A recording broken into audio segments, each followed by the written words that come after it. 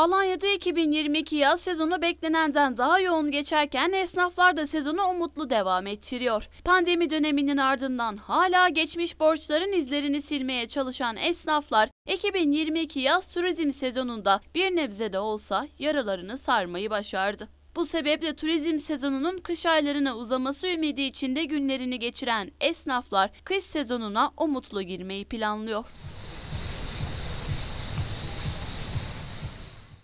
Konu hakkında Alanya Posta Medya ekibine değerlendirmelerde bulunan Alanya Esnaf ve Sanatkarlar Odası Başkanı Nuri Demir, Alanya Otelciler, Pansiyoncular ve Turistik Eşya Satıcıları Odası Başkanı Hüseyin Değirmenci ve Alanya Bakkallar ve Bayiler Odası Başkanı Veliettin Yenialp, esnafın bu sezon yüzünün güldüğünü söyledi. Alanya'nın daha iyi bir yere gelmesi yani kış turizminin de Alanya'da olması hani biz 12 ay turizm Değirmenci, esnaf kardeşlerimiz bir nebze de olsa zorlu geçen iki yılın ardından yaralarını sarma imkanı buldu. Bu moral ve motivasyonla beraber de 2023 turizm sezonunun planlamasını yaparız inşallah dedi.